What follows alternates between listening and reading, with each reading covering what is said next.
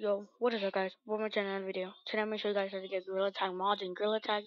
First you're going to need Steam VR and, and Gorilla Tag on Steam. And you want Monke Mod Manager.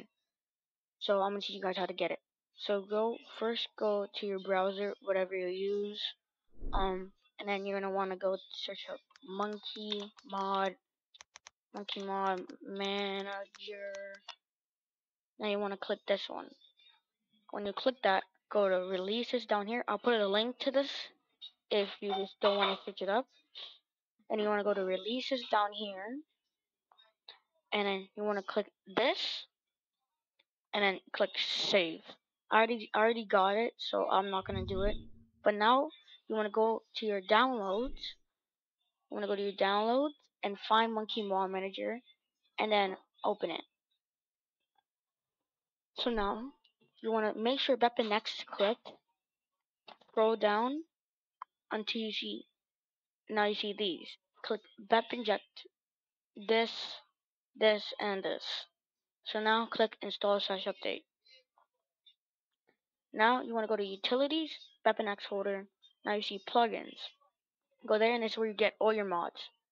So I'm going to delete this. I'm going to get the new Bark. So if you want Bark, um, I'm to show you guys how to get it. I'll make it easy in another video. But yeah. So first you want to go to my, you want to go to my Discord. And then you're want to, I'll put a link to it. You want to go to Bark Mod menu in Gorilla Tag Legal Mods. Hit this. It's not a dangerous download. Click continue to download. Click the three dots. Click keep. Click show more. Click keep anywhere.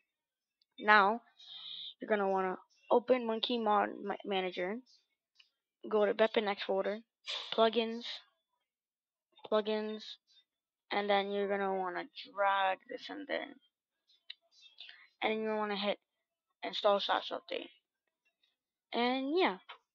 But after that, what you're gonna need to do, you're gonna need to get modded lobby. So you're gonna go to Utilla.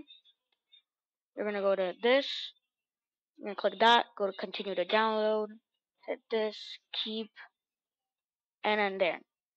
And then you're going to do the same thing. You're going to go to BepInEx folder, plugins, and then you're going to want to drag it in there. I already have it, so I'm not going to do it, but you just you get it. Just drag it in there.